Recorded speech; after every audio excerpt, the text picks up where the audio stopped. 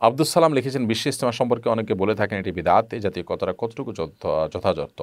বিশ্ব ইস্তেমা বিদাত হতে যাবে কেন ভাই? ইস্তেমা মানে সমাবেশ, সম্মিলন। বিশ্ব ইস্তেমা মানে হলো বৈশ্বিক সম্মেলন। যে সম্মেলন পৃথিবীর বিভিন্ন দেশে মানুষ একত্র হয় বা একটা সংগঠনের, একটা জামাতের, একটা ইসলামিক কোনো একটা অ্যাক্টিভিটিসের আপনার বৈশ্বিক পর্যায়ের যদি সম্মেলন হয়, সেটা বিশ্ব ইস্তেমা তো এটা তো কোনো নাজায়জ কিছু না।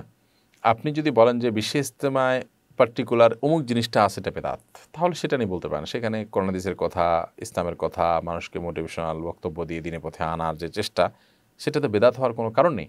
যদি বলেন যে বছরে একবার এরকম তিন দিনের ইস্তেমা করতে হবে করোনাদিসে কোথায় আছে, তো এটা তো বেদাত না, বেদাতের সংজ্ঞা সম্পর্কে আমাদের জানা হয়নি। তাহলে যদি কেউ বলে থাকেন এরকম, তাহলে। কারণ হলো দিনের ইলম অর্জন করার জন্য, দাওয়াতের জন্য কোনো একটা ফর্মেট যদি কেউ বের করেন, সেই ফর্মেটটা হলো জাস্ট দাওয়াত দেওয়ার একটা উপায়, একটা পন্থা। যেমন, আমি কোরআন পাঠ করার জন্য কাগজের কোরআন ছাপিয়ে নিয়েছি, এটা একটা পন্থা মাত্র। এটা এটা কিন্তু এবাদতের মধ্যে কোনো বৃদ্ধি না। জাস্ট এবাদত করতে সহায়ক হয়, সেরকম কিছু আমি করলাম। আমরা যে রেহাল ব্যবহার করি, কোরআন কি আছে? নাই।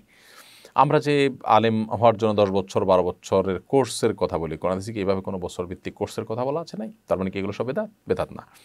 বেদাত হবে তখন যখন এবাদতের পদ্ধতির মধ্যে এবাদতের প্রক্রিয়ার মধ্যে, পরিমাণের মধ্যে আমরা কোনো প্রকার সংযোজন, বিয়োজন করব তখন।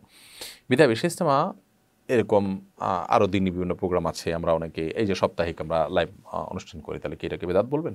কোনো আলেম তো এটাকে বেদাত বলেন না। বিধায় এটা বেদাতের সংজ্ঞা না বোঝার কারণে অনেকে বলে থাকেন। মাহমুদা রহমান আপনি লিখেছেন, আমি একজন প্রাইমারি স্কুলের শিক্ষক, ছোট বাচ্চাদের গণিত ও বিজ্ঞান পড়াই। পড়ানোর সময় বাচ্চারা অনেক সময় জিজ্ঞেস করে, বিজ্ঞানের সকল আবিষ্কার কি অমুসলিমরাই করেছে? মুসলমানরা কি কিছুই আবিষ্কার করেনি? আমি তাদের সঠিক জবাব দিতে পারি না। যদিও আমি জানি মুসলিমরাও বিজ্ঞানে অনেক অবদান রেখেছেন। বিজ্ঞানে মুসলমানদের অবদান সম্পর্কে কোন বইগুলো পড়তে পারি বা বাচ্চাদের পড়তে দিতে পারি জানালে খুশি হব। বোন মাহমুদা আমাদের বাচ্চাদের জন্য খুব বেশি বই পুস্তক বাজারে আছে তা না।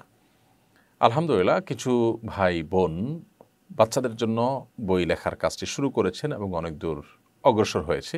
আজকাল বিভিন্ন রকমের বই পুস্তক বাচ্চাদের জন্য পাওয়া যায় না। বিশেষ করে মুসলিম বিজ্ঞানীদের অবদান, বিজ্ঞানের জন্য, তথ্য, প্রযুক্তিতে মুসলমানদের অবদান, সেগুলো নিয়ে বাচ্চাদের জন্য খুব বেশি বই আছে বলে আমার জানা নেই। তবে সালাউদ্দিন জাহাঙ্গীর নামে একজন লেখক আছেন।